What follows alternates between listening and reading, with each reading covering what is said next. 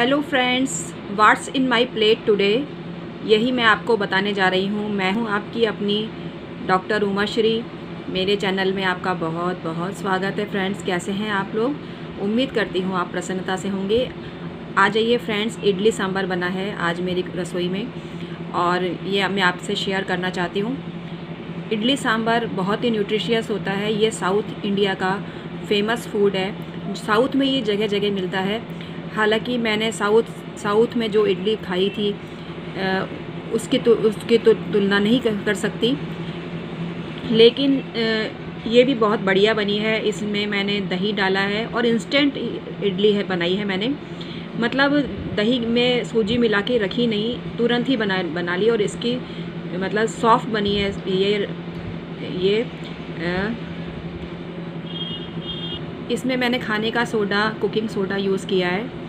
इनो भी डाल सकते हैं। ये मैंने लौकी और दाल, तुहर की दाल मिक्स करके बनाई है। एक्चुअली मेरे घर में लौकी मैंने तीन चार दिन पहले बनाई थी और तीन चार दिन से रखी थी ये फ्रिज में, ख़राब नहीं हुई थी फ्रेंड्स तो मैंने सोचा ये सांभर ही बना लूँ। मैंने इसमें सांभर मसाला डाला है टमरिंड पल्प टमरिंड होल डाल दी मैंने। पानी में भिगोई और कुकर में। सीटी लगा के चढ़ा दिया और सांभर मसाला भी डाला मैंने। और इतनी टेस्टी बनी है और इसमें मैंने राई का बघार बन, राई और हींग का बघार बना दिया। तो ये बहुत ही टेस्टी बनी है। आपको पता ही है, दाल न्यूट्रिशियस होती है, प्रोटीन से भरपूर होती है। लौकी का गुणगान क्या करूँ? बाबा रामदेव ने हमें सिखाया लौकी की लौकी की महत्ता। और सूजी भी फाइबर से भरपूर होती है, डाइजेशन में हेल्प करती है। तो आज आज का मेरा लंच यही है और आप सोच रहे होंगे कि मैंने ये एक ही इडली ली है।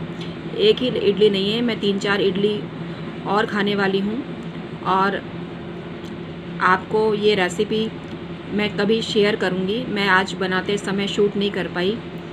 तो आपको ये मेरा वीडियो कैसा लगा? कमेंट करके ज़रूर बताना फ्रेंड्स और मेरे चैनल को सब्सक्राइब ज़रूर करना। मेरा नाम डॉक्टर उमाश्री है और मेरे चैनल का भी नाम डॉक्टर उमाश्री है। तो इन्जॉय करती हूँ मैं और आप भी आ जाइए फ्रेंड्स इन्जॉय करने के लिए। Thank you so much. Thanks for watching my video.